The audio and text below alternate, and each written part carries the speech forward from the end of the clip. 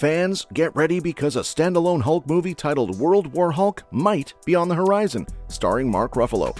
It promises to shake up the MCU and reunite our favorite heroes to face an even greater threat. Despite years of waiting, Marvel seems to be reconsidering giving the Hulk his own spotlight, with industry insiders hinting at new plans.